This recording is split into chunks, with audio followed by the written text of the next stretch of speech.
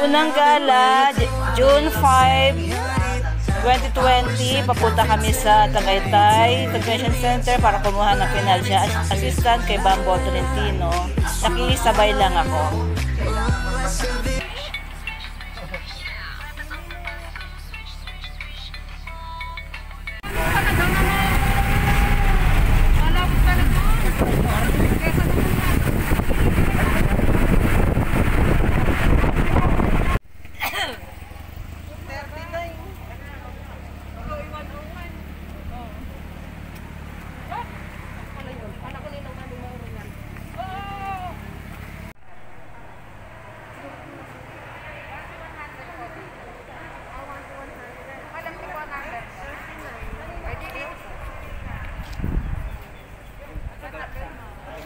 Sila ang mga tao na kumukuha ng mga financial assistance. Sila ay pwedeng may sakit or senior citizen o may mga ibang concerns. Kasi tumutulong ang gobyerno ng Cavite sa mga nasasakupan nila at nagbibigay ng financial assistance dito sa Tagaytay kay, mula kay Bambol Tolentino, Mr. Bambol Tolentino.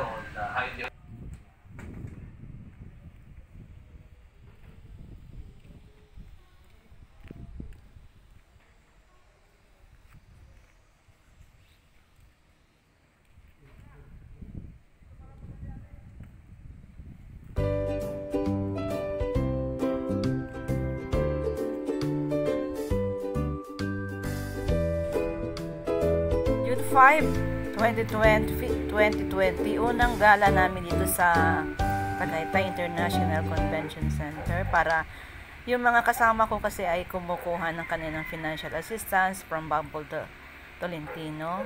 Nagbibigay ng para sa mga may sakit at saka sa mga, lalo na yung mga senior citizen, mga nagda-dialysis. Ako ay nakisabay lang pa- para makapasyal at makita ang ang ibang lugar simula nang tayo ay ma-lockdown ng March 15. Samahan nyo kung maglilibot tayo dito sa International Convention Center ng Tagaytay. Kikita nyo ang swimming pool, wala na pong tubig. Nung nakaraan pumunta po ako dito ay may tubig at napakaganda ng tanawin. Ah, sa bagay, maganda pa rin ang tanawin dahil maganda naman talaga ang Tagaytay International Convention Center. Okay, panoorin niyo po ako, panoorin niyo po ang aking pagbibideo sa, sa kapaligiran. Hello. Salamat po.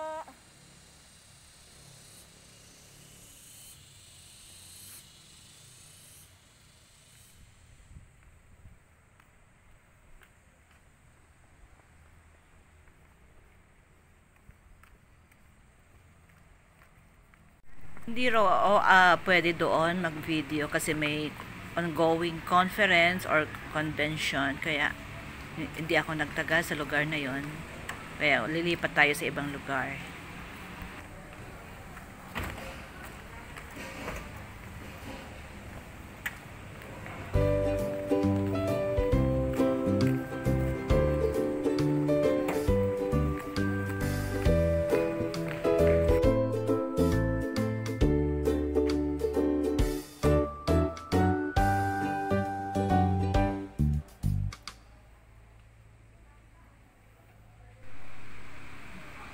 Napakaganda ng tanawin at saka napaka-refreshing ng mga mga halaman dito sa paligid-ligid. Daming pine trees. Sarap mamasyal, maglakad-lakad. Kung hindi na sana ECQ eh, parati ako po mamamasyal dito. Hindi GCQ pala. Kikita nyo na fresh air at saka hindi masyadong maraming tao ngayon. Tingnan nyo mamaya ang kanilang swimming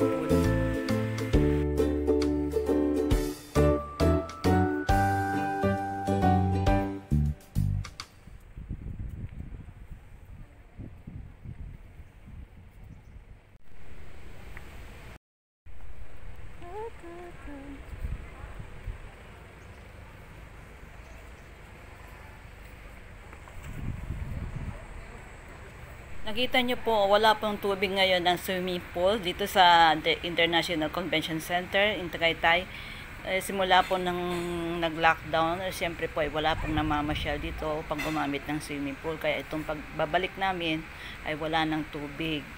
Pero napakaganda pa rin pong pasyalan itong lugar na ito. Talagang kahit saan sinisingit mo ang TikTok ha. Mayo Media. Nagtitiktok ka na naman habang nagbablog. Hello!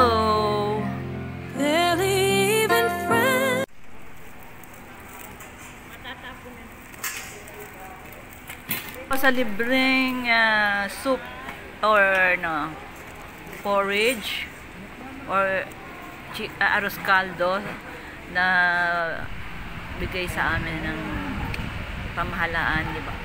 Dito sa Cavite. Sa- Salamat din sa pakape at sa ma- masayang paglalakbay namin dito. Thank you.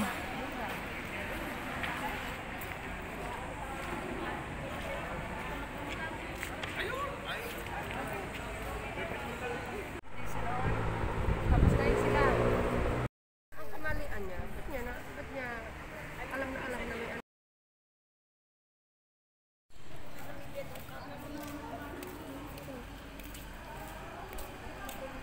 Meron ng taga-video, ako naman ang kukuwanan habang namamasyal. Ang sarap ng ano, fresh air dito sa paligid ng Tagaytay, ah, Tagaytay International Convention Center. Sana makapasyal kayo dito. Hello!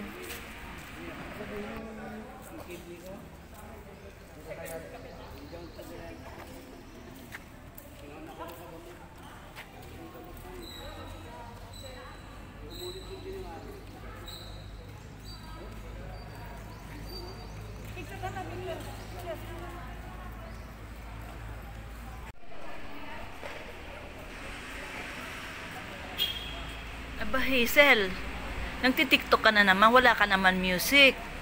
Talaga naman, addict ka na sa TikTok, ha?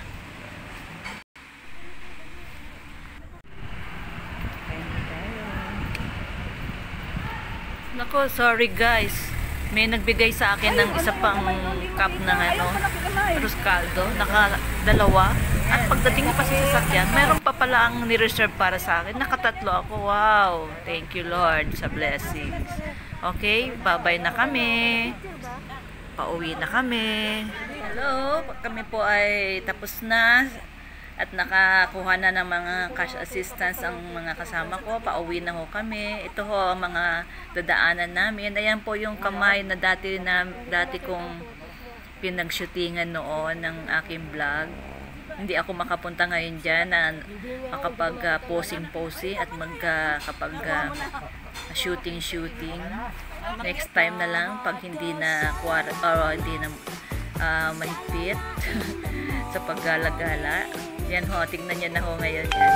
Napaka uh, ganda at nakatahimik ngayon. Walang masyadong namamasyal na mga turista.